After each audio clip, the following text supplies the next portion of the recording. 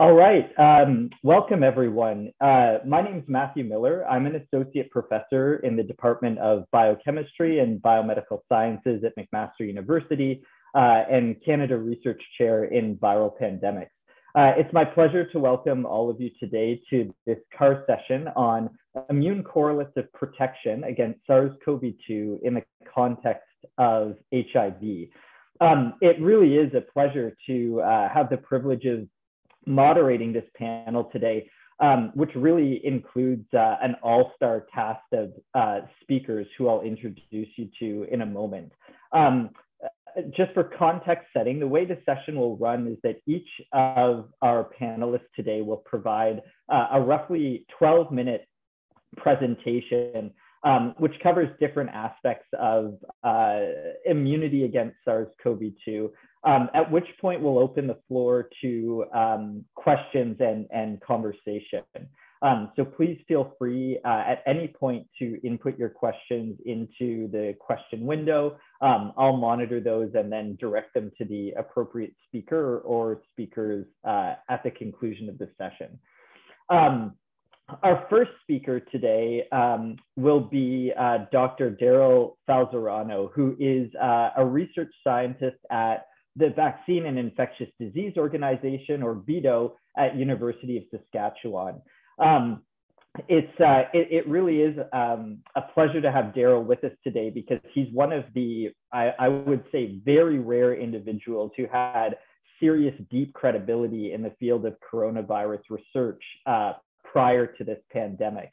Um, Daryl has has had uh, a, a, really illustrious career studying high consequence pathogens. Um, in particular, he's been involved in the development of animal models for coronavirus, uh, coronaviruses and other emerging infectious diseases, um, including the alpaca model for MERS coronavirus, um, bat models, um, marmoset models, and, and I think quite recently um, non-human primate models as well. Um, he's been one of the lead investigators as well on uh, VIDO's uh, COVAX-2 vaccine, which is currently in phase two clinical trials. After uh, Dr. Falzarano, um, the next speaker will be uh, Dr. Galit Alter, who I'm sure uh, needs very little introduction to all of you in this audience. Uh, Dr. Alter is a professor of medicine at the Ragoon Institute uh, of uh, MGH, MIT, and Harvard, and is the co-director of the Harvard University Center for AIDS Research. Um, her research uh, has been really focused on um, the, the extremely elegant development of systems biology tools to understand correlates of immunity against infectious diseases. And uh, as I'm sure most of you are aware, she's particularly well known for um, the development of her system serology platform, um, which, which has been really, um, I think, paradigm shifting in terms of the way that we think about uh, deploying assays that are capable of describing immune correlates of protection. After Dr. Alter, uh, we'll hear from Dr. Finzi, who again, I'm sure needs uh, little to no introduction to most of you. Dr. Finzi is a principal scientist at uh, CUHM at Université de Montréal um, and a Canada Research Chair in retroviral entry. Um, Dr. Finzi is, is certainly one of the world's leading experts in um, understanding viral glycoproteins, particularly uh, obviously um, in the context of HIV, the dynamics of those proteins, interactions with their cognate receptors, um, and the interactions of, of those viral glycoproteins with, with antibodies. Uh, Dr. Finzi's been just unbelievably prolific uh, in the context of the COVID 19 pandemic um, uh, and has made really uh, tremendous contributions to our understanding of um, immunity against uh, COVID 19, especially in, in Canadian cohorts. Um, after Dr. Finzi, uh, we'll hear from Dr. Mubareka, who again I'm sure needs little introduction. Dr. Mubareka is an infectious diseases physician and virologist at uh, Sunnybrook Health Sciences Center in the University of Toronto. Um, uh, Sam and I have known each other for quite a long time because um, she did uh, a, a, stint of training in Manhattan with my postdoctoral mentor, uh, Peter Pugliese. So uh, Dr. Mubareka um, uh, has a long history of expertise in uh, particularly respiratory infectious diseases and has made major contributions to our understanding of viral transmission, both clinically and in uh, animal models. Her group at Sunnybrook was amongst the first to isolate SARS-CoV-2 from um, the first Canadian patients um, and has played a major role in the uh, ongoing isolation of virus um, that she's very generously made available, probably to, to many in this audience, um, and, and, certainly the Canadian uh, research community uh, more broadly. Um, Dr. Has had also many very important uh, roles on, on major uh, federal and provincial organizations, as well as um, international organizations like the WHO in the context of the COVID 19 pandemic, um, including uh, writing guidelines regarding clinical management of, of COVID 19 um, and some really important One Health uh, work that she's done um, with the Royal Society of Canada. And finally, um, the session will be rounded out by Dr. Cecile Tremblay, who, who again, I'm sure all of you in this audience know very well. Dr. Tremblay is an infectious diseases um, clinician and medical microbiologist at Université de Montreal and is the uh, Pfizer chair on translational HIV research. Um, from 2012 to 2015, Dr. Tremblay served as director of uh, the Laboratoire de Santé Publique du Québec, um, or the Quebec Public Health Laboratory. Uh, and during this mandate, uh, she was responsible for development of a research program on HIV epidemiology in Quebec and coordination of uh, the laboratory response to biological threats and emerging infectious diseases. Um, so again, lots of experience in uh, the area that we're going to be covering today. Um, so without uh, further ado, um, please uh, uh, join me in a virtual warm welcome of our panelists today. Uh, and I will turn the floor over to Dr. Falzerano to uh, kick things off.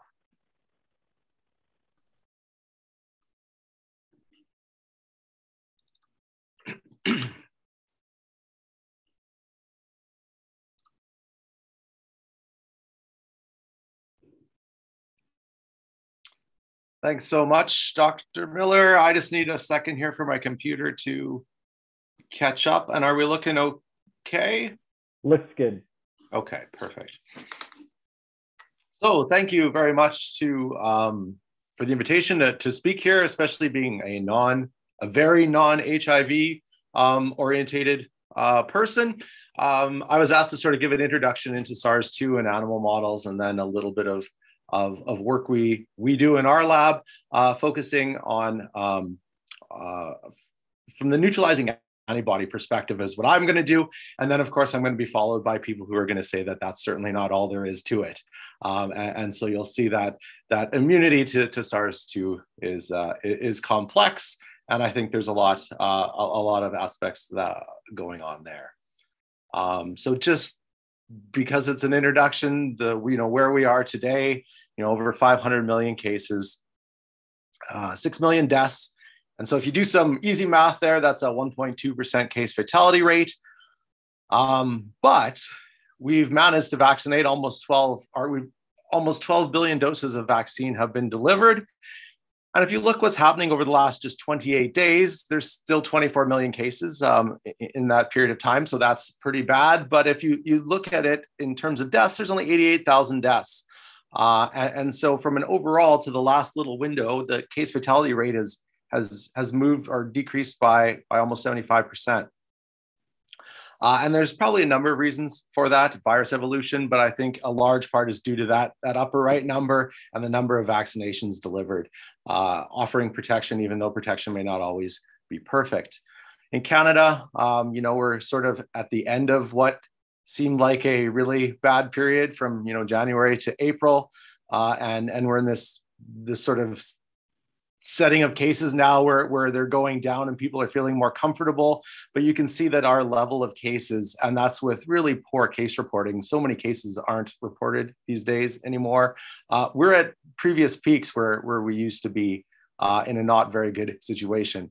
But cases and hospitalizations uh, are no longer following the same kind of trend. So there's way more cases, but way less hospitalizations. Um, and so that's leaving us in a much better place than we were, despite the large number of cases still ongoing. Uh, and, and just on the bottom here, the update uh, for Canadian vaccine, um, the percentage of people who are classified as fully vaccinated, 81% in the total population and 89, 12 and older. And some catching up to do in that younger age grade, uh, group, the 5 to 11s, where we're only at 40%. So the virus that causes all this problem is, is SARS-CoV-2, one of the coronaviruses. Um, they've done this before, of course, SARS-1, uh, but that only caused 10,000 cases, and MERS continues to cause cases with a high case fatality rate, but only managing, you know, less than 3,000 cases. So uh, SARS-2 being related, but, but highly different in how it's, it's been transmitted to the number of people that it has. Has the largest genome of our, all the RNA viruses, has a lot of proteins, um, both structural and, and uh, or sorry, a lot of non-structural proteins involved in replication uh, and, and host immune modulation, and not so many um, structural proteins. So really you only have your nucleocapsid, your envelope, your membrane, and, and spike making up most of what, uh, most of the virus. And um, as we'll see in a minute, we have a number of interventions uh, to target and control SARS-CoV-2, um, and, and, they're kind of directed to just a, a, number, very limited number of, of targets.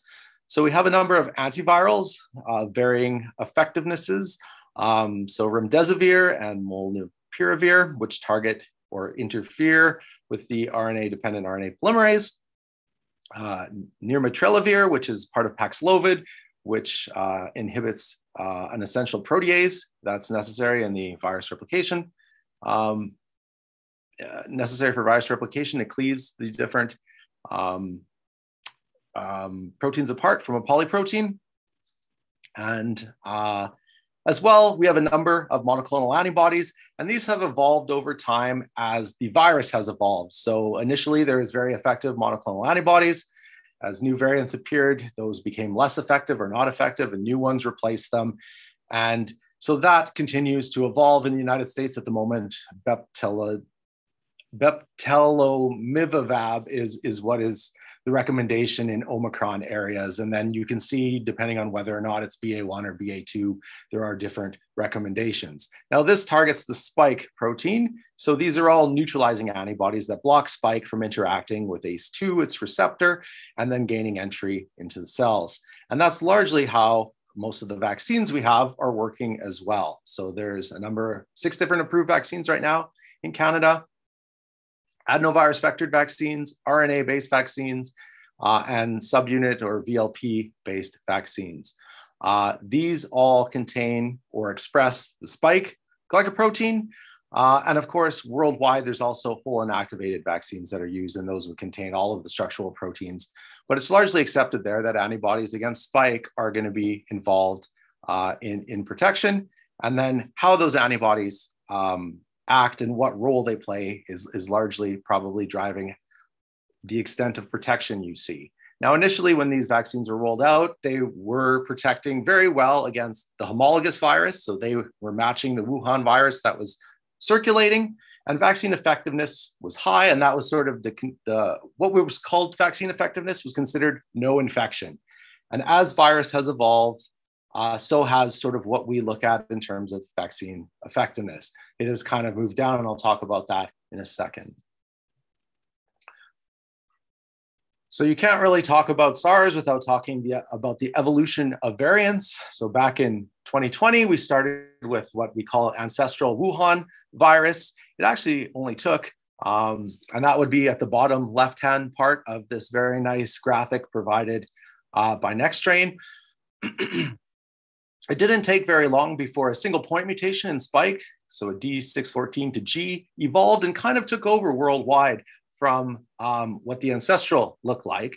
And um, that really didn't increase pathogenesis, but it did increase transmissibility. And that's sort of the first, that wasn't called a variant at the time or a variant of concern, but that really was sort of the first variant that popped up and, and, and spread and showed that variants that are able to transmit better are the variants that are going to take over. And subsequently, that's what's happened in numerous different uh, waves worldwide. So you see these gray viruses, which are sort of different versions of ancestral viruses, never really breaking out and causing uh, you know, a large cluster, although some do persist for quite a long period of time.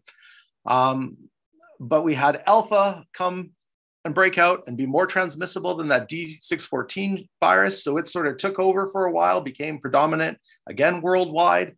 At the same or a similar time, another variant, beta, also appeared, possibly a more pathogenic virus, able to evade pre existing immunity a little bit better, but probably not more transmissible. And as you can see from the very small amount of purple, uh, kind of disappeared and never really took over the way alpha did.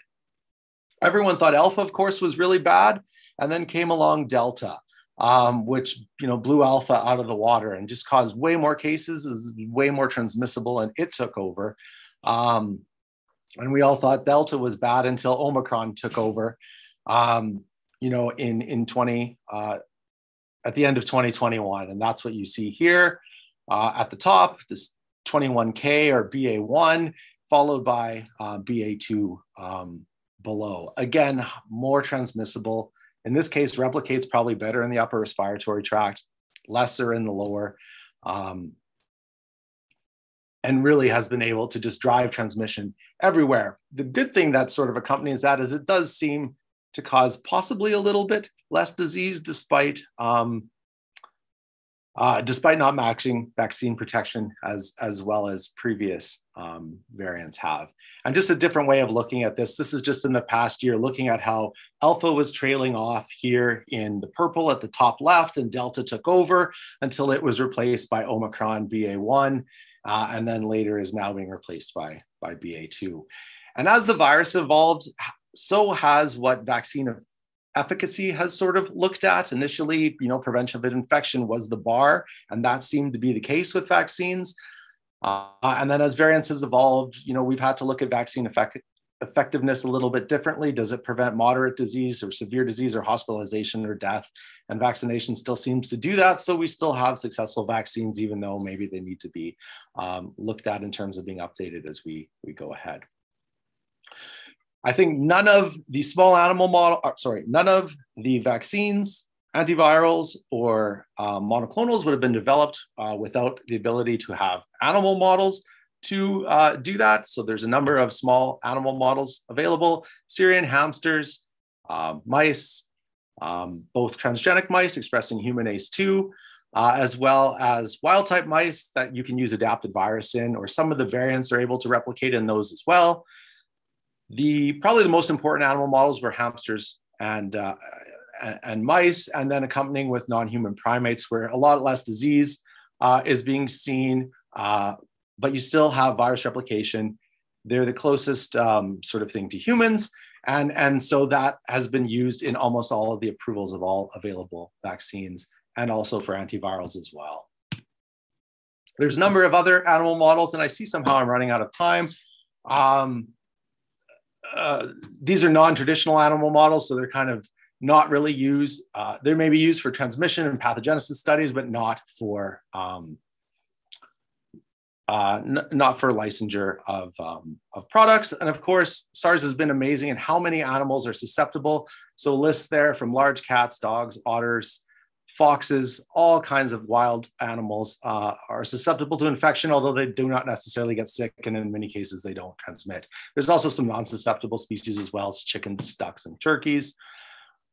What virus you get infected with, um, your immune response in terms of neutralizing antibodies tends to be biased towards that virus. So this is hamsters. We find if you're challenged with alpha, you have neutralizing antibodies to the highest level against alpha. Same case with beta and much lesser to alpha or uh, an original Wuhan. So in hamsters, we saw that. We've looked at some human samples as well, where we see the same thing. If you were exposed to Wuhan, you have the best neutralizing against Wuhan. Delta against Delta. Uh, and then much poorer levels of neutralization against something like Omicron, a new variant popping up. You can boost that by vaccination. So infection plus two vaccinations can bring up levels against a diverge levels of neutralizing antibodies against a divergent um, variant such as Omicron. And that's what you see there on the top left um, there. And you can also do it in the context of an extra vaccination. So three times vaccination in long-term care residents also brings you levels of neutralizing antibodies against Omicron. And Matt's gonna cut me off right away. So I'm gonna skip my last slide on heterologous challenge in hamsters. You could ask me about that later, alpha beta and whether or not they can uh, modulate each other's neutralizing antibodies. And I apologize for that. And thanks to a large group of people who work very hard at our, at our uh, institute. Thank you very much for that excellent presentation, uh, Dr. Falzarano, which um, I think has really set the stage well for all of the subsequent presenters.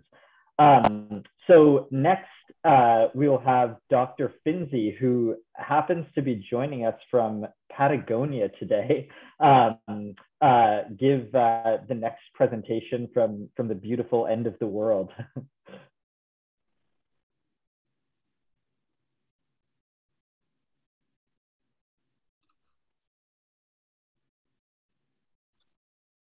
You're muted still, Dr. Finzi.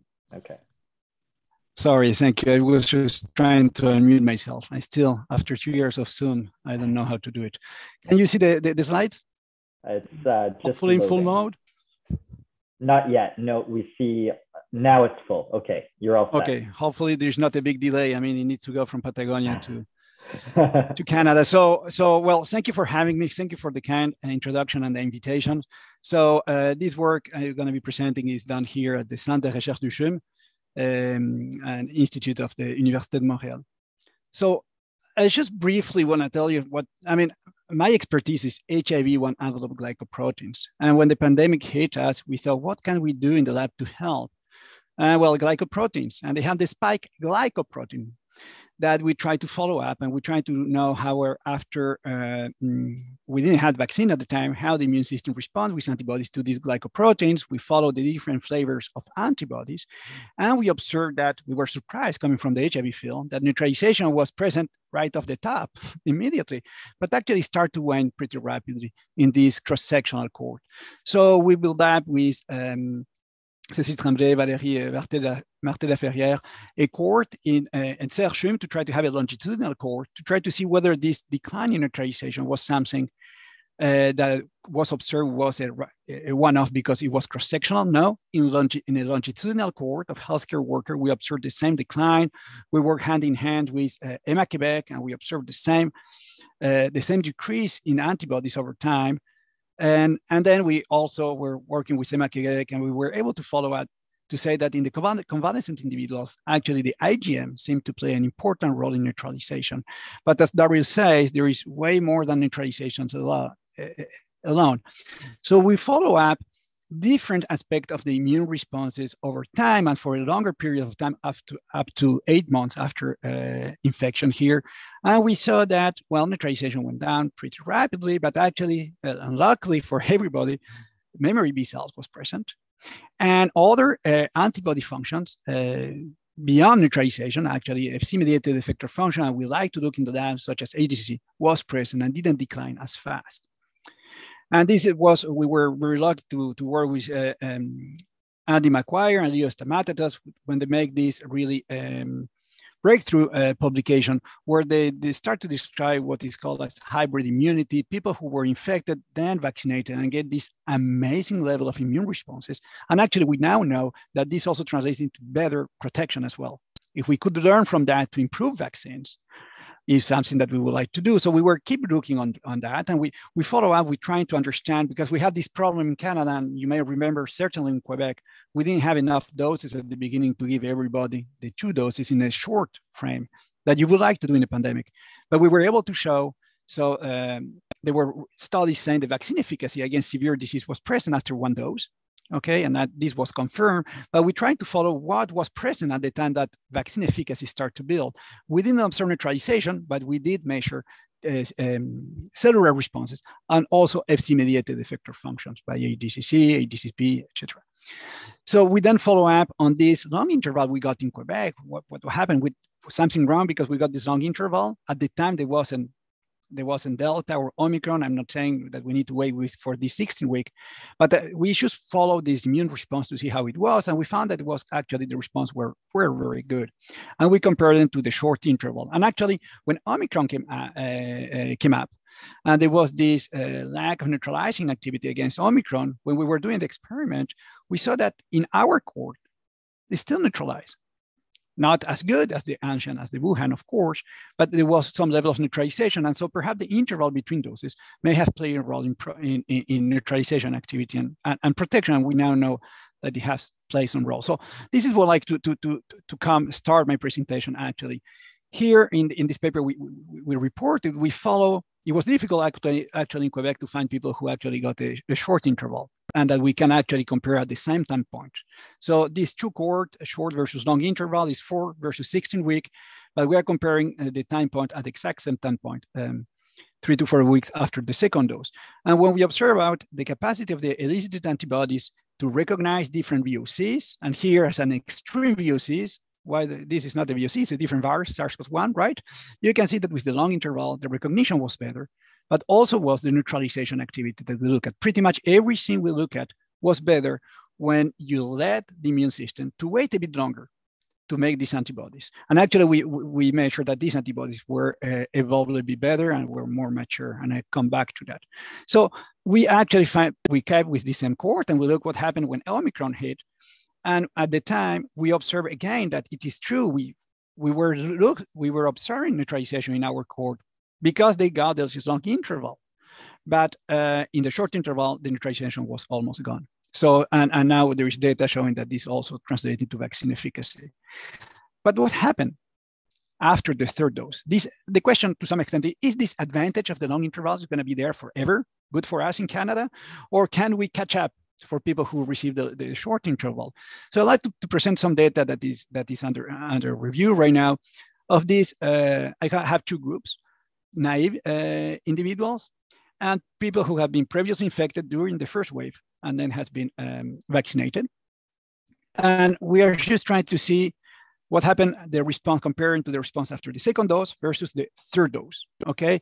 And what you can see if you choose only look at RBD responses in the naive, which are the red here, you have this level of, uh, of RBD antibodies that will go down in this attrition time point that we have at V4 you give the third dose and you come back to the same level that after the second dose. So yes, go and take the third dose, you are bringing it back to the level that you got after the second dose.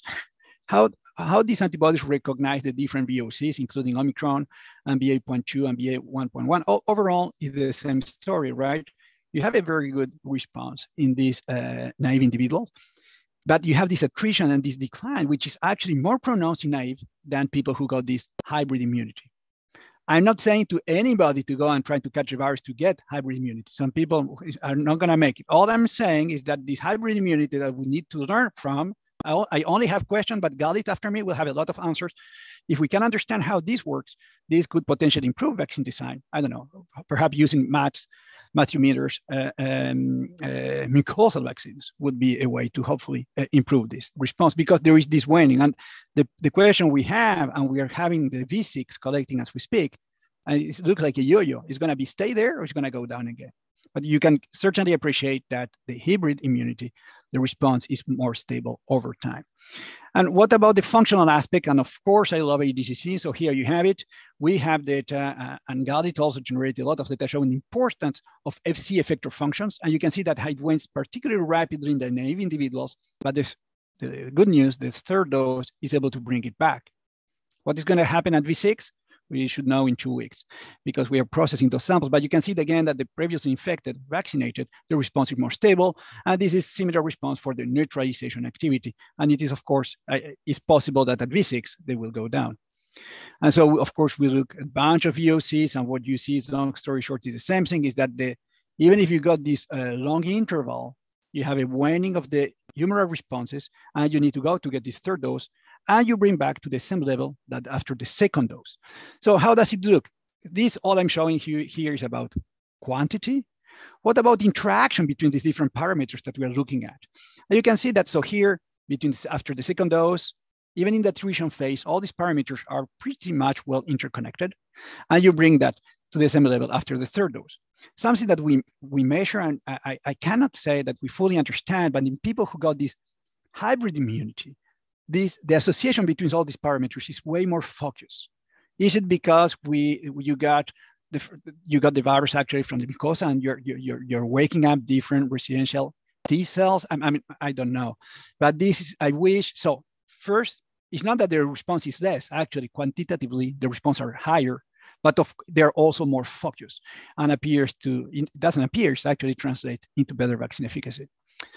So I'm gonna try to answer the last question that, that I asked, whether this advantage, that advantage to some extent that we got with this long interval remains after the third dose when we compare it to people who received the short interval. And for that, we, uh, we work in collaboration with John Werry at UPenn, who got this amazing cohort where they get people who received the, as proposed by the companies, a very short interval of uh, three weeks, and then the third dose.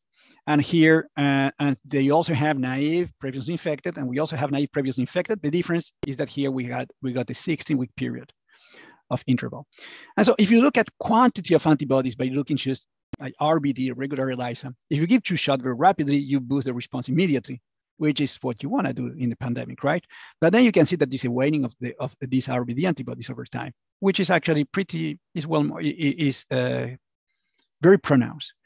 When you get only one dose, I mean, this average you have, you, it goes up. Then, of course, you have this attrition phase. And during this place, actually, we know there was protection against severe disease.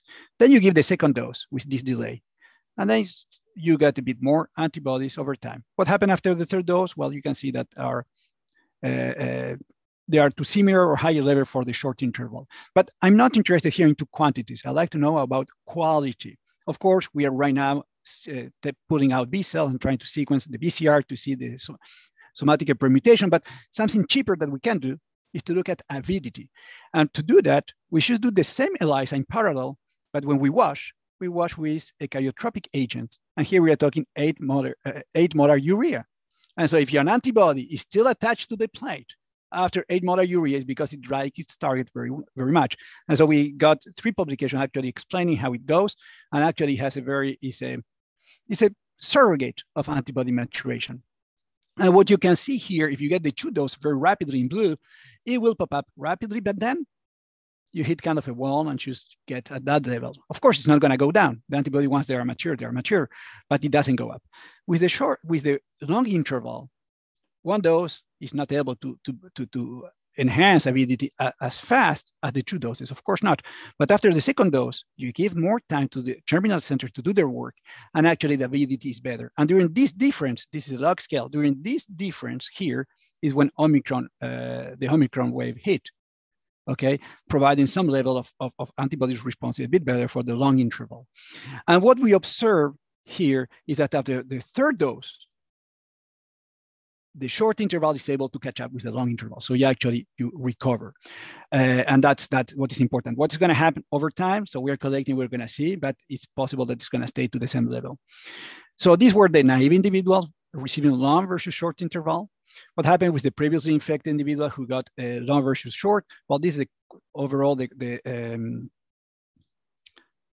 the quantity of antibodies, but the RBD avidity index was something that they like. You see that people who receive uh, uh, got infected and, and then vaccinated, independently of the uh, of the interval, you have a very good avidity, a very good maturation. So I really hope that some of this work and as, that, as, as the field moves on, we are going to be able to to mimic what infection does without infecting people, of course, to try to develop this hybrid immunity, which is uh, we believe is extremely important. And Galit will talk a bit more about it.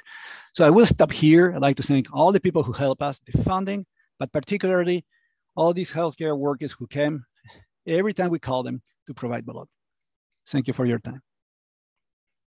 Thank you very much, Dr. Finzi.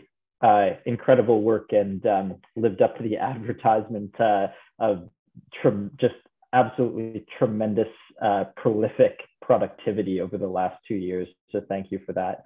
Um, I also always love uh, listening to and reading about anything that Drs. Finzi and Alter present because I am a big fan of FC interactions and FC dependent effector functions as well. And I'm, I'm nearly certain that we'll hear a little bit more about that in the next talk. So Dr. Alter, the floor is all yours. Thank you. Um, okay, so so so following right after Andreas um, it's always a challenge. Let me just grab that screen again. Hold on a second, um, because he always steals the thunder. But let me follow on him um, with some a little bit, a couple more tantalizing observations about hybrid immunity. Um, but where my story is going to start off is really, um, you know, really um, launching off of Daryl's presentation, where I just want to talk through some of these variants that appeared over the last two years. Now, what I think that you know we saw this marvelous you know, immune profiles and protection conferred by many of the new vaccine platforms that emerged over the last two years, which was really, I think, a moment um, in vaccine history that I think we will never ever forget. Right, this was a real um, vindication and a real win for vaccinologists all around the world. Um, but I think that we all took a, a, little bit of a pause in that excitement when we began to see all these variants of concern emerging um, that were, you know, slipping by neutralizing antibodies induced by vaccines quite efficiently, including the Omicron variant that, you know, really after two doses of vaccines that induce really high levels of antibodies, the virus is able to just you know drive transmission uh, very easily in animal models as well as in human populations. But the important point I think Daryl showed nearly on his first slide was that despite the fact that we were seeing this breakthrough in neutralizing antibody activity, we did not see a concomitant breakthrough in severe disease and death in most populations right? And this was an incredibly important observation that did not get picked up by the media as effectively as the loss of neutralizing antibody responses against these new variants of concern. And I think on the right side, what we're seeing is really what our target immune profile was. Our you know, goal for these vaccines was to limit disease and death. And so we accomplished our goal and the vaccines do their job. The question, of course, is that if it's not solely due to the induction of neutralizing antibodies, the question, of course, is well, what else might be part of that immune response induced by vaccines that might help us understand at a mechanistic level how these vaccines are working so we can be a little bit smarter, maybe, about how we deploy boosting strategies. So focus on antibodies. Of course, you know, cellular immunity is also critically important, but I'm going to focus here on the humoral immune response. We know that beyond the ability of antibodies to simply bind and block infection to mediate neutralizing antibody activity, antibodies do, as Andreas mentioned, mediate many, many additional antiviral mechanisms through their ability to interact with nearly all immune cells that express FC receptors or are able to interact with antibodies. So these antibodies that are elicited following vaccination or infection patrol the body all over the place. Once they recognize their target, they form swarms of polyclonal immune complexes that then rapidly leverage immunity from within localized tissue compartments. And these antibodies then can deploy a wide array of different antimicrobial functions that we know are critically important in the control of other pathogens, including bacteria, parasites, as well as viruses. And these include viral clearance, elimination of infected cells, regulation of inflammation. They drive cellular um, interactions, as well as um, drive T cell immune responses uh, by increasing antigen presentation. So, so we were very interested in all these other functions of antibodies. And over the last two years, we've been very active in trying to understand what's happening with these different profiles of antibodies? And can this give us hints about what might be associated with protective immunity beyond uh, simple blockade of infection? So the first little tidbit I'm going to show you is just a, little, a couple little hints we began to capture by looking at vaccine effectiveness across the mRNA platforms. Um, so mRNA vaccines came along; they showed incredible efficacy in their phase three trials. Um, but when these vaccines um, were released uh, for public consumption, um, we began to see some differences in their performance at a population level.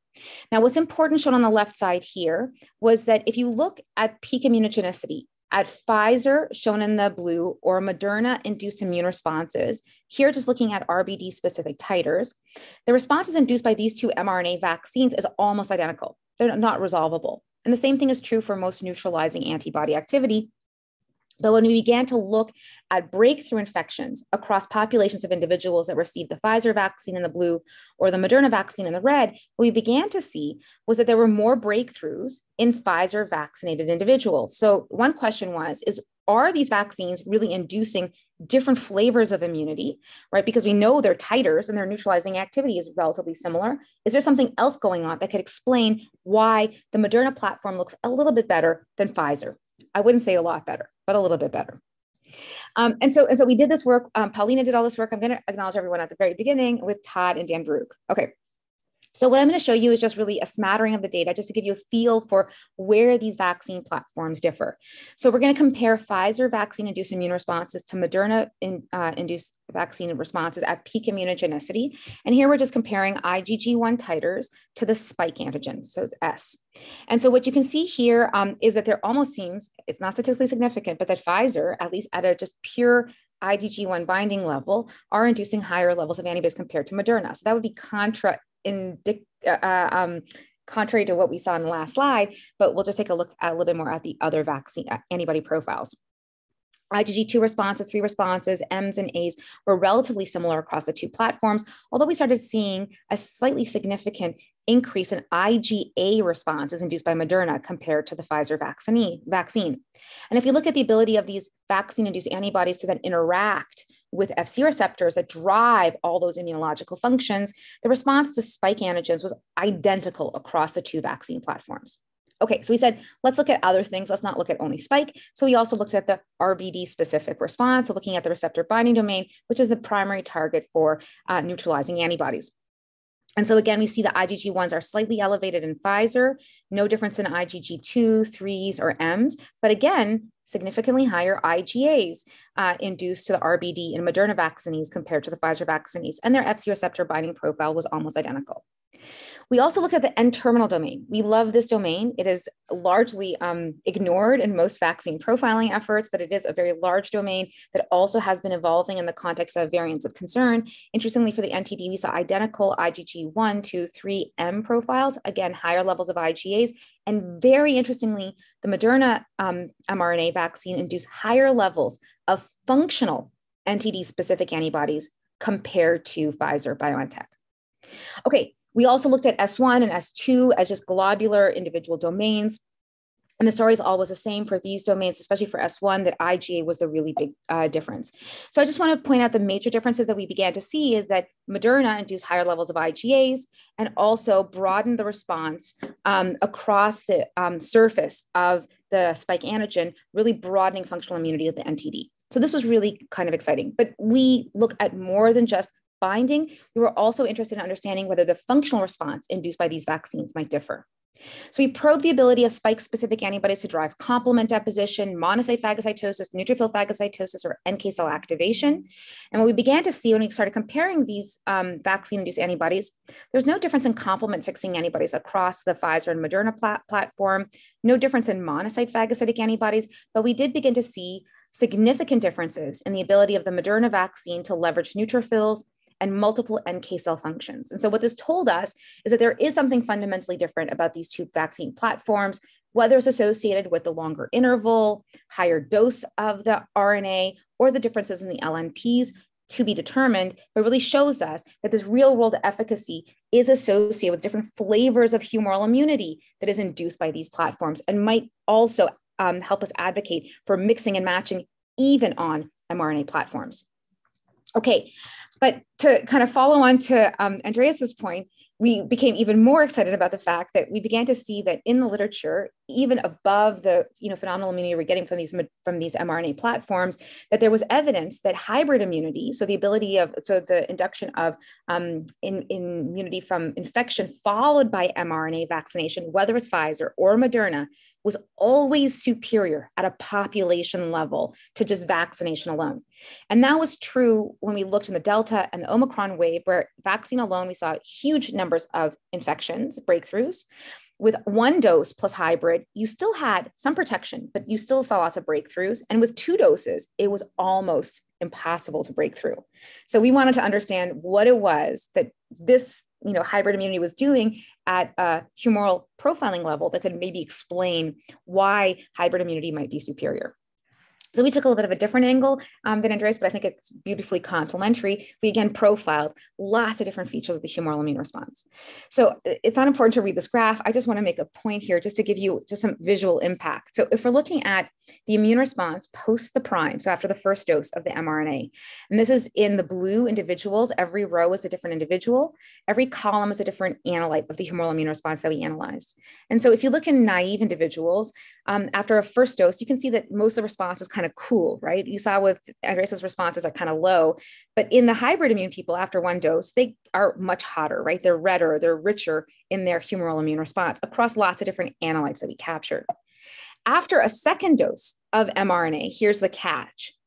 These two groups do not look any different to me by eye whether you had previous infection, whether you had no infection before or you had infection before, I don't see a visual difference in the quality of um, that vaccine induced immune response. So we set out to really begin to look at single level differences to try to understand what it was that was fundamentally different about the hybrid specific immune response that could explain why after two doses with previous infection, you do better, not because we're advocating for people to get infected, but because we think we can make next generation vaccines that can do this deliberately so we can prevent infection at a global level. So, what's different? So we looked um, at individual um, antigens again, and um, this is hopefully going to be the last data slide, so I won't overwhelm you guys. Um, but we'll look at S1 specific responses, looking at just IgG1 titers. This is after the first dose in naive individuals in the blue or hybrid individuals in the red. So after a first dose, you can see clearly hybrid immunity gives you higher S1 titers, not surprising. But after a second dose, no difference between the two groups, right? So that can't explain why hybrid immunity with two doses does better than hybrid immunity with one dose or uh, two doses alone. Okay, we looked at RBD. We also looked at the S2 and we also looked at the NTD. And so if I can just draw attention to the RBD, um, again, you can see hybrid does better after one dose. After two doses, there's no difference. The same thing is true for NTD. You can see here hybrid does better with NTD after one dose, but there's no difference between the two groups after two doses. The only place we started seeing a little bit of a hint of difference is on the S2. Now, the S2 is interesting because S2 is the most conserved region of the SARS CoV 2 spike. It is a region that's conserved mostly across all variants of concern, but also across multiple beta coronaviruses. Please ask Andreas about this in the discussion to the audience. Um, but the interesting um, observation was that after second dose, the S2 response in hybrid immunity was superior in some individuals compared to that found in non-hybrid immunity. And that was the only place we began to see a trend towards difference. But we also looked at the ability of these vaccine-induced antibodies, again, to interact with different FC receptors that arm the immune system to fight the virus. This is um, of phagocytic receptor, inhibitory receptor, cytotoxic receptor, a neutrophil activating receptor. And interestingly, when we looked at the RBD specific response, we began to see were hints that maybe there was a higher level of functional antibodies that was present in the individuals with hybrid immunity after a second dose compared to non-immune individuals, but this difference was not statistically significant. But it was evident across almost every FC receptor that we profiled. There was this hint about this trend in elevated functional immunity. So hybrid immunity is making those antibodies more functional even after a second dose in, um, uh, in following immunization. But what was statistically significantly elevated every single time were your S2 specific functional antibodies. So antibodies to this conserved region of the virus was um, were more capable of interacting with the opsonophagocytic Fc receptor, as well as the cytotoxicity inducing receptor, suggesting that what truly might make these hybrid immunity individuals different at a humoral level is the ability to raise these antibodies to this conserved region to leverage the immune system to fight the disease. Do I have two minutes, Matt, or should I end here? I just want to make sure. Um, yeah, you can have two minutes, of course. Okay, okay. I want to just show you one last thing because I think this is really interesting. So, um, Canadian vaccine. So, we want to ask Are there vaccines that can do this hybrid immunity magic? And the answer is um, that we began to profile responses induced by the CoVLP vaccine um, that was developed um, at Medicago by Brian Ward and Philippe Gobet. And we began to look at their responses. So I just want to show you what this vaccine is doing, which is really quite ex- exciting. So, so we began to look at responses induced by um, the CoVLP vaccine. Here in the um, reddish yellowy colors is in the presence of a adjuvant ASO3 versus the CoVLP uh, uh, vaccine alone. And here looking at IgG1, 2, 3, um, M and A responses to the wild type spike um, or to the receptor binding domain S1 and S2. And the only point I want to make here is that what's fascinating about this vaccine, unlike so many others, if we look at peak immunogenicity day 42 or day 201, so six months later, we see phenomenal maintenance of binding antibodies to the spike, to the RBD, to the S1, but also to the S2. So this vaccine is maintaining these responses. Doesn't induce much twos and fours that are non-functional, but induces again, very strong IgG3 responses that are detectable after six months, especially to the S2 domain, which is really quite exciting. And we also see some induction of IgMs and IgAs, um, but it's really this S2 response that got us excited. So we asked, are these antibodies also functional? very important. So we looked at the ability to induce complement deposition, monocyte phagocytosis, neutrophil phagocytosis, and NK cell activity, um, so a marker of ADCC activity. And what we found was that this vaccine, unlike many others, including the mRNA platforms, um, the use of this co-VLP with an adjuvant induces very robust monocyte phagocytic and neutrophil phagocytic antibodies, um, some of these that are really persisting, almost completely not waning over time. Um, and so this is really exciting. So we get S2 responses with function, which we haven't seen with many other platforms. Okay, so I'm going to just leave it there. I think I, I, acknowledge the people that did the work over the course of the presentation, and just to make the point that you know there's a lot of flavors of antibodies that we're missing by not looking a little more deeply at the humoral immune response. We see differences across the mRNA platforms that might explain real-world efficacy, and we do see that there is something fundamentally different about the S2 response in hybrid immunity. And with that, I thank you for your attention. Thank you so much, Dr. Alter. Um, the next speaker is uh, Dr. Mubareka, who um, I think will sort of transition to a bit of a different flavor and, uh, and shift some of our focus to um, uh, transmission. Um, Dr. Mubareka, the floor is all yours. Thank you very much, Matt, and thank you so much to the organizers for the invitation. Um, so yeah, I'm a bit of an, an, inflection point here, maybe to the to the clinical side, and I will focus on transmission. Uh, and I'll start with really just uh, an overview um, in terms of what we understand and where are the gaps in our understanding are of transmission of not just SARS coronavirus 2, but also uh, the majority of, of, respiratory bioaerosols and, and uh, respiratory pathogens. So, not surprisingly, this is a very complex multifactorial um, process that involves the virus, clearly, uh, as well as not one but two different hosts Often they're of the same species, but not necessarily, as well as the environment. So when you think about bioaerosols, these are really particles suspended in air. Um, obviously, they're very mixed, and there's a continuum of, of size and distance traveled, et cetera. A lot of this really depends on what the environment is like. We tend to we've tended to dichotomize this a little bit. We, we talk about droplet versus airborne. The reality is it's a continuum and it's everything in between and at both extremes, depending on the circumstances.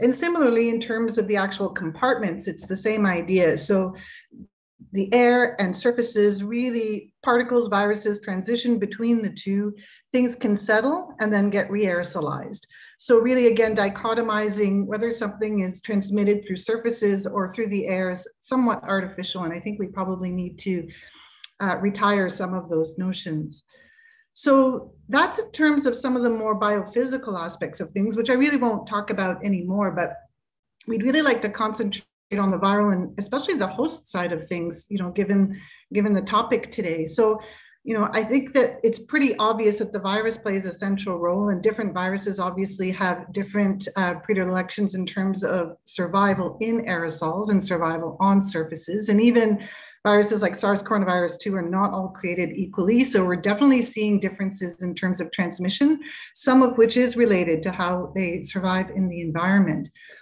But when we think about hosts, then we're talking about fairly complex systems because, as I said before, we have two different hosts. Both are each with their own biologies, and some of the key biological determinants include things like immunity, and I'll come back to that in a moment, but also other things like symptomatology um, and also behavior. So, exposure, duration of exposure, how long people are exposed for, and also proximity of exposure are really, really uh, critical factors. So I'll pull on some of these threads and also um, some of the things that uh, the panelists have already mentioned um, through this case that I'd like to go over. It's um, not my patient. This was Jeff Powis's patient um, that he looked after with some, some other um, healthcare providers, and we did the virology on this case. So this is an individual living with HIV, 76 years old. Um, Past medical history was relevant, obviously, for HIV, which uh, was not treated, and his CD4 count was 110 um, at baseline. Uh, he also had coronary artery disease and, and schizophrenia, and he was admitted initially to acute care when he was um, identified as being COVID 19 positive positive or, or having uh, SARS coronavirus 2 during an outbreak in a transitional care setting. So he was admitted for observation. And at the time, he was fairly asymptomatic. He was later discharged to a long term care facility, but then readmitted on day 69 with fever and cough. Um, still testing positive for SARS coronavirus 2, uh, but clinically presenting more like a bacterial pneumonia and a short admission after, after being treated as such. Unfortunately, he was readmitted, um, this time with a hip fracture requiring surgery, complicated by aspiration pneumonia, which was also managed. But unfortunately, he really didn't recover from this episode and, and um, ultimately passed away in palliative care. And as you can see here, he really continued to test positive for SARS coronavirus 2 for over 140 days. Um, so we were involved because of some questions around infection control and the and you know just as a reminder he was in a congregate care setting through this whole time so the fact that he was testing positive with a ct value of around 20 sometimes less sometimes more suggested that he may actually be shedding infectious virus. So indeed that's what we found when we did viral culture on his nasal pharyngeal swabs. The other thing that uh, we also did was we did whole genome sequencing. Um, we, we did we sequenced the virus five times between days zero and 100 just to look and see whether or not that there were any fixed mutations had evolved because certainly this has been described before. And in his case we really didn't find anything in that regard and you have to wonder if it also is because we also didn't find any antibodies um, neither to S nor to N uh, on the two occasions that we looked. So even out to you know day 130, he really didn't mount an antibody response, and that's with clearly having had SARS coronavirus 2, no no question, and also um, maybe um, uh, this may come and reflect what Dr. Finzi's findings have been. You know, he did receive two, two doses of mRNA vaccine uh, separated by four weeks. Uh, the second dose was about three months prior to his initial presentation. So despite that, he really never mounted an antibody response.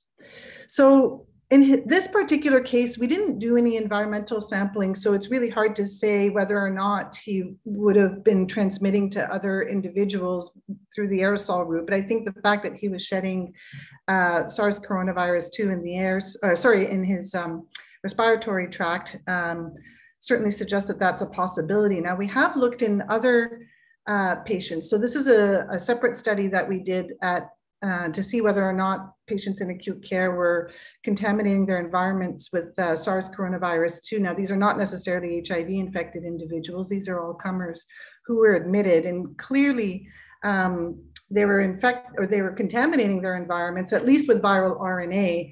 Um, and fairly broadly as well. Obviously, we tested a, a, wide range of areas within their rooms. So again, these are hospitalized patients.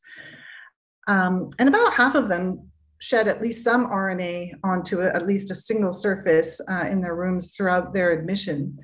But only three yielded infectious virus, and that's with a fairly sizable um, sample size. And if you look at who among them actually had infectious virus, um, uh, isolated from their surfaces, it really tended to be patients that were hypoxic, uh, so needing oxygen, uh, patients that had higher concentrations of viral RNA, so CT values of less than um, 30, people who had comorbidities, and people whose um, sample uh, date was collected within seven days of symptom onset. And when you actually sequence these viruses, not surprisingly, what you find in the environment is almost identical to what you find in their, in their upper respiratory tract. Interestingly, all we found was really RNA dust in the air, um, and none of the few air samples that were positive actually had infectious virus. And following on from that work, we also wanted to look in the acute care setting at how much virus actually gets dispersed specifically in the critical care setting. So for this, we, we kind of dusted off this mannequin that we affectionately called Quarantino, who's in desperate need of a facial here, um, and used phage to see whether or not different uh, oxygen administration modalities would change how much virus actually gets dispersed, because clearly we are not going to do this with uh, SARS coronavirus 2. So we did this in a simulated ICU uh, room and sort of positioned the samplers around where we thought healthcare workers would be uh, most likely exposed, um, and showed that really with with um, some of the non-invasive uh, positive pressure um, modalities where you would sort of expect a lot of virus to be dispersed, it really was no more than something like nasal prongs. So that's what patients commonly come in with or are, are given uh, oxygen through. Um, and not surprisingly, patients who are on a ventilator or, or have a, a, uh, one of these helmets on, which we didn't use very commonly, uh, I admit, but certainly wanted to test. Um, because of the closed circuit and the valves and the seals, you really don't see a lot of viral dispersion. The reason this is important is because so many patients were being um, managed with high flow nasal oxygen. And it was particularly important for this setting because when patients were being transported in the pre hospital setting, and in this particular case, this is actually an air ambulance, so this is a fixed wing air ambulance. Um, you know, the preference is to use high flow nasal oxygen rather than have to have to intubate patients. And this is particularly important in rural and, and more remote areas where uh, the preference is to use high flow nasal oxygen and where patients might need to be flown into tertiary care centers for care. And when we repeat this with um, the study with just saline, same thing. High flow nasal oxygen really doesn't disperse particles any more than just a nasal prongs. So going back to the to the patient that I mentioned before, I mean clearly he was at risk of transmitting more to other patients than one would necessarily expect. The fact that he really shed for you know well over 100 days you know up to 140 days most likely. Infectious virus has clear implications for infection control because that's way beyond the period of time you would isolate a patient. What we didn't find which others have described um, is really cha- significant changes in the viral genome. Now this particular case which is probably the one that's been most well characterized um, showed this without question. Now, what's interesting about this particular case is this individual did mount uh, antibody response to their SARS coronavirus uh, 2 infection. So one has to wonder what's actually driving some of these changes sometimes. The other major question that stands out is also with respect to individuals living with HIV and the determinants of transmission to them. We really don't know what the key characteristics and determinants are for um, not necessarily exposure, but actual transmission and susceptibility to infection with respect to uh, bioaerosol exposure. So some of the things that you know we really stand to to gain from understanding is how much you know their HIV status and potentially co-infections with things like Mycobacterium tuberculosis could potentially play a role in transmission. So really, just to wrap this up, there is such a, I mean, I just showed you one potential transmission risk scenario. There are many, many, many potential risk scenarios, more than we could, we could really describe. And I think the real challenge here is to try and understand how we can implement mitigation measures that are both effective and feasible. Um, and clearly, you know, this, this really requires a multidisciplinary approach given the complexity of, of transmission. So thank you to everyone who helped with this work and I'll now pass it over uh, to Cecile. Thank you so much, Dr. Mubareka. And yes, now uh, last but certainly not least, um, we will have Dr. Tremblay round out uh, the session and, and provide some I think, um, overview of thoughts, uh, as well as um, some contextualization with her own work around the impacts of, of COVID in the context of HIV. Dr. Tremblay, the floor is all yours. Um, so um, I, I, will be short because I would like to leave a few minutes for questions. Uh, and I will uh, follow up on what Samira just uh, told us about what are the determinants of um, outcomes in HIV infected patients and SARS CoV 2? Because that's been a question mark since the beginning of the second pandemic, the first one being HIV. And we've all wondered whether HIV status affected um, not only the course of the disease, but the immune response to vaccine.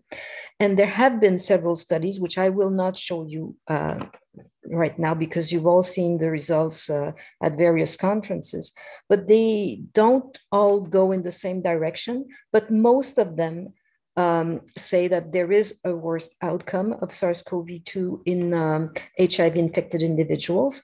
The large populational studies, such as those conducted in South Africa or in UK or in Scotland, clearly show an excess risk of uh, worst outcomes for HIV infected people. But of course, these large populational studies do not control for comorbidities and other variables that could affect um, the immune response to, to any disease. But some other studies have also shown that there is an excess risk of worst outcomes. And um, some of them, of course, associate the CD4 count as a, a major um, risk factors, but it hasn't been unanimous on every study. Some studies um, have not shown a difference between uh, of outcomes between HIV infected an HIV uninfected individual. Of course, you need to take into consideration, and as a clinician, that's my take on correlates of immune protection. Like people living with HIV are people. So they age, like all of us. The majority of people living with HIV in Canada is over 50 years of age. Uh, they have more and more comorbidities lung disease, cardiac disease, all of these uh, can affect the course of, uh, of the infection and can affect the quality of the immune response. So, whenever we do these studies, it is very important that we take these into account and also the social environment in which our uh, people are living will affect not only the risk of transmission, as uh, Samira just uh, showed us, but it can affect the, um, the, the, the quality of health in general of these individuals and the access to healthcare, access to rapid healthcare if you get infected, and then eventually, if you don't have these access, um, uh, worst outcomes. So this is as an infectious disease, SARS-CoV-2 is a, a disease that will affect people with lower socioeconomic conditions worse than the, the rest of the population. As it relates to um, response to vaccine, so as we were setting up this uh, uh, huge set of cohorts at the CHUM with Andres and Valérie Martel-Laferrière and, and Claude and other people and Daniel Kaufmann and Madeleine Durand, uh, we decided that we wanted to study specifically um, the immunity of uh, people living with HIV and having contracted the uh, SARS-CoV-2, but also their response to vaccination. And I'm just going to show you a few preliminary results because um, these results will uh, are are have been accepted in vaccine. They will be pu- published very shortly. They're on bioRxiv. And what we saw in our cohort is that people with lower CD4 count, below 250, had much less um, strong anti-RBD uh, responses than people in the higher stratum of um, of, uh, of CD4 counts. Now I know this is the response after one dose. Uh, now we're gonna. I'm not gonna be presenting you in detail the rest because it hasn't been. Uh, we we still need to finalize the analyses, but there was also a correlate of um, immunogenicity with the age of our patient, the younger, of course, having more immunogenicity than the, the older people people. Now, I know that not all groups have found the same results. Um, another Canadian group, uh, um, which I uh, collaborate with, did not find necessarily the same um, correlation with CD4 count. But again, we need to look at the populations. How are they different? How many people were with low CD4 count? How low was it? What was the nadir CD4 count, etc. So there are a lot of the factors that can affect what you're going to find in um, in this type of studies. So we are uh, continuing the study with Andres, uh, and uh, they're working in all of this fabulous work his lab has been doing in the last few months. And we are going to characterize in depth the uh, vaccine responses in these uh, HIV infected, uh, H- yeah, HIV infected and uh, vaccinated people with or without uh, infection with uh, COVID-19 as well, so that we can see if we if these people generate hybrid immunity the same as the general population. So I'm going to stop there because uh, the, the, time is running, and I would definitely like to have have time for you guys to to um, ask your questions and for the panel to to be able to answer. Thank you so much, Dr. Tremblay. Um, the the um, question in the question window so far relates to um, hybrid immunity versus vaccine doses. So um, just uh, just give me a nod. I think anyone could probably field this, but but certainly maybe um, or Andres. Uh, the question was, do you think that four vaccine doses will be equivalent to uh, what we currently see with hybrid immunity? I think Andreas should take this one. I mean, I mean, it's, uh, it's not what we believe, it's going to be what we measure. Uh, something that I choose when I was presenting, I got an email with the data of the V6. And what we are seeing is that the decline in titers, and this is four months after the third dose, is not as strong that we saw after the second dose. So it could be that this decline is, is slowing down, but we need to measure everything. And so it will take some time. Um, I think that the mucosal um, route of antigen presentation happening with the real virus may could make some differences and potentially at some time a boost with a mucosal uh, vaccine may be needed to kind of create that. And also, I fully agree with Galit, and I pass that along to her that S2 responses is extremely important. And clearly, from all the BNAbs, that, BNAbs, all the antibodies against SARS-CoV-2 that we found out, the, the really BNAbs that we found out are against S2. And so far, there is one that so far is able to hit all VOCs. So hopefully we are going to be able to maintain that, but we do see differences in the elicitation of these antibodies between vaccinees versus infected individuals. So somehow the, the, the vaccine is not presenting the spike in the exact same conformation. It is working, maybe, but it's not the same. Yeah, maybe I can add, Andre. So, um, just to be a little bit contradictory, because it's fun to argue with you. Um, but uh, you know, the data out of Israel with the fourth shot does not suggest that it's matching hybrid immunity. So I think that the um, real world data, I think in the end will trump, you know, all these speculations, and the real world data would suggest that at least, um, you know, you get a transient window of, you know, real transmission blocking activity, but it is short lived. And so there is something fundamentally missing from this vaccine strategy that we currently have in our toolkit. And so adding this additional component, which may be mucosal immunity, and Matt, maybe you need to answer this question. Um, you might know the answer better than all of us, but maybe adding that mucosal inflammatory priming. Maybe there is something really magical about that. And thinking about how that works is going to be important. I think the one thing I want to mention, though, in the Swedish study that I showed, um, that EPI study, um, they suggest in that data that it doesn't matter if you prime or if you boost with infection, but just having some sort of mucosal antigen exposure with a virus seems to do something very important. And so maybe you can speak to what that magic is, but um, but I think that that's what the real world data would suggest is that just a fourth boost is not going to solve all of our problems.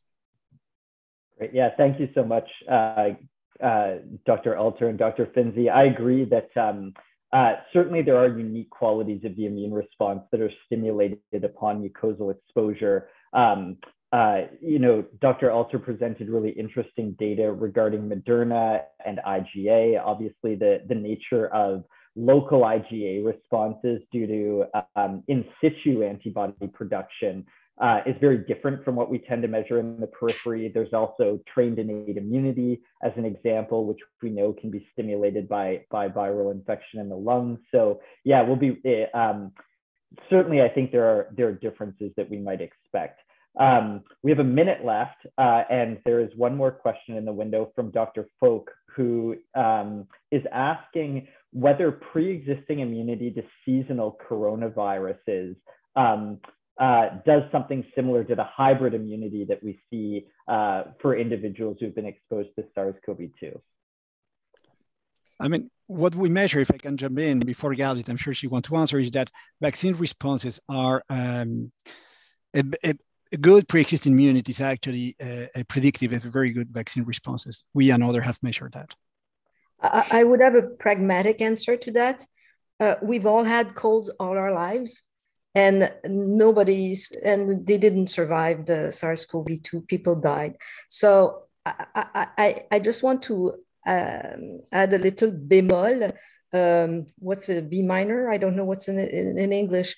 It's um, that all of this that we're seeing in, in, uh, in the lab in, on hybrid immunity and protection, let's remember that we see patients all the time who've had, had COVID and then they get it a second time. And of course, we want to look at the severity of disease and everything, but we need to be careful in how we uh, qualify this uh, the, the, this uh, immunity uh, uh, in terms of is it really protective? And if I had another question I would like to throw out at Galit is is is um, are there if we were to construct a vaccine, a universal vaccine that targets some conserved region of SARS-CoV-2 or SARS-CoV or coronavirus, uh, would there be any other areas you would think we should look at? Okay. can I just say hi, Keith? That's a great question. Um, and then to answer Cecile and to um, address Andreas's just point. Um, so absolutely. So I think Cecile, there is data from um, Manish Sagar that was published in JCI that suggests that people who had pre-existing high levels of both nucleocapsid and S2 specific cross reactive immunity were less likely to get COVID 19, severe disease, and natural infection. So I think it points to the importance of nucleocapsid and how nucleocapsid immunity works, of course, through T cells, maybe even through antibodies and clearing immune complexes, is very important. Um, and, and, and then I, but I have to say the one thing, the good news, right, Keith, is that um, I don't see any evidence, at least in my hands, of original antigenic sin having an impact on vaccine induced immune responses. So that I think is the good news. Um, but I, I, do think there might be some cross CoV protection due to S2 and nucleocapsid. And maybe that teaches us how we can make better vaccines for the future. Great, thank you so much. Um, I've been told by the organizers that the Zoom meeting will not close, uh, and there are a couple of more questions. So if our panelists uh, will will be willing to entertain one or two more questions, uh, I'll pose them.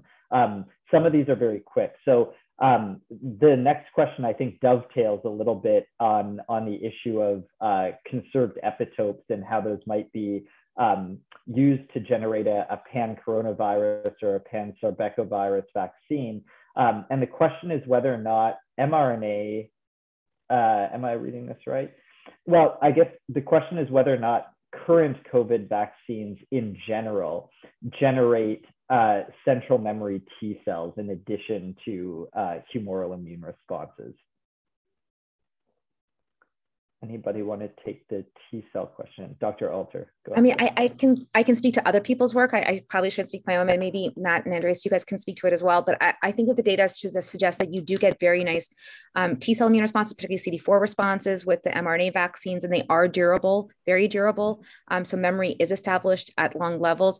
The adenoviruses platform seem to induce CD8 T cells as well. And I think that that's one of the reasons we think that the J&J vaccine, even with one shot, you know, really did seem to lead to some level of cross coronavirus or cross VOC protection. Um, and then I, and, and so I think that those data are very encouraging. I think that there are potentially efforts that we can make to try to boost those CD8 T cell responses and CD4 responses um, and to, you know, again, drive them to localize in as tissue resident memory as, um, uh, Andreas mentioned, because I think the big issue, right, is that once they're programmed as memory, they're floating around. We have to recruit them back to the lung. They've got to proliferate. They got to activate so they can kill, um, and that takes too long. So we need them at the site where they can act immediately, and that's I think a big goal for the future. Thank you. Um, Dr. Alter's presentation clearly got the audience excited about uh, CoVLP, and there's a question about um, whether it will be available in Canada soon. Um, I can maybe speak to that as uh, as someone who sits on NACI. Um, obviously, CoVLP has been approved. Um, I think the the issue is I, I don't know about um, explicit supply, but the indication for CoVLP is fairly limited because um, at least at the federal level, um, the preferential recommendation is still for mRNA vaccines. And so um, that could change, of course. Uh, people who would get CoVLP at this point would mostly be people for whom the mRNA vaccines are contraindicated, I think. Um, That's so. silly. they yeah. they should make that the boost. I think that is a really cool. Um, that's a that's a that's a great vaccine yeah, I, I, I agree that uh, it, all all the more um, variety and options we have, the, the better in this case. Isn't there an ongoing study of um, CoVLP as a booster? Um, so we would have these results uh, short, in a short period of time, and that could be um, very interesting. Yes, yes, exactly. I think as the evidence continues to evolve, so will the the recommendations for for sure.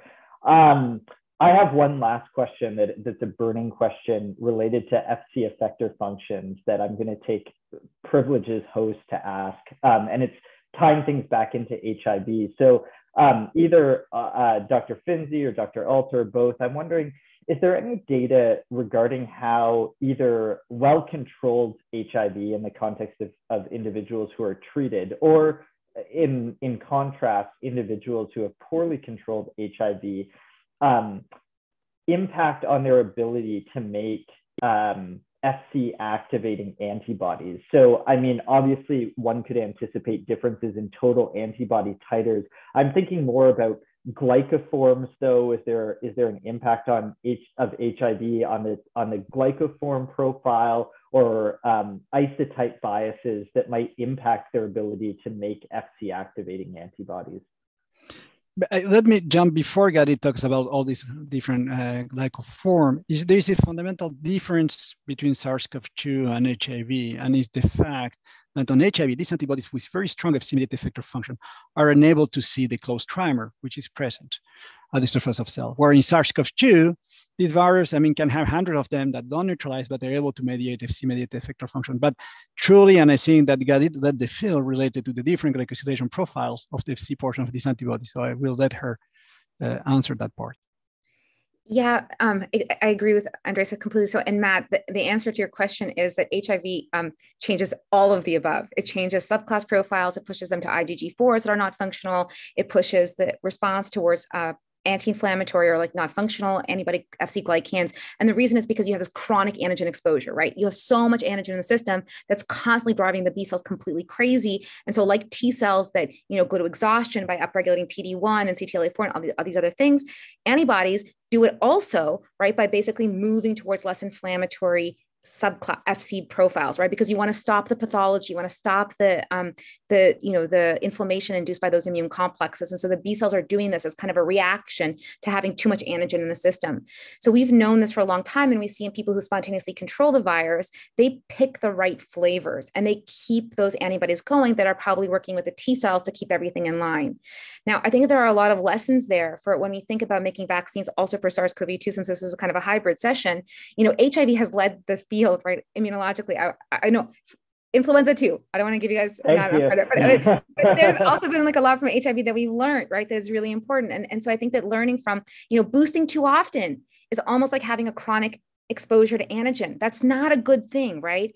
And so we have to think about this, you know, really carefully because that lesson from HIV that you have to hit the right epitopes with the right specificity, with the right functions, you've got to get those vaccines to really train the immune system in the right way. And we're doing this now across lots of pathogens and hopefully this second pandemic we've all come together, right? From flu and HIV and RSV and every other pathogen, we can now start to really use those learnings to make better vaccines for future pandemics on what I think was a, a fantastic note to end um, this session on uh, regarding the the benefits of you know combining expertise from a variety of fields uh, in order to address these major um, you know pressing and and um, uh, you know I guess these public health threats that aren't leaving us anytime soon. It's you know the end of the day. I need a drink. I guess my words are not coming to me. But thank you all uh, so much uh, in the audience for joining us today. And of course, a special thanks to uh, our incredible panel for their uh, presentations and thoughts. Um, it's been a real privilege to moderate this session. Um, and uh, I hope to be able to see all of you uh, in the audience uh, and, and especially uh, my good friends on the panel um, very soon. So, so thank you all uh, very, very much. It's been great. Good, really, really good job, everybody. Thank you. Have a good night and a great weekend, everyone.